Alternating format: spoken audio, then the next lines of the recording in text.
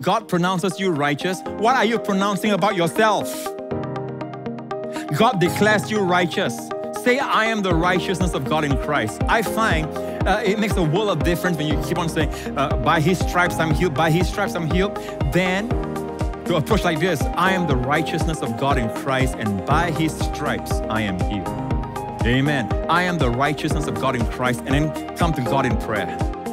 Amen. It's like it's a new dimension, it brings you to a new level. Amen.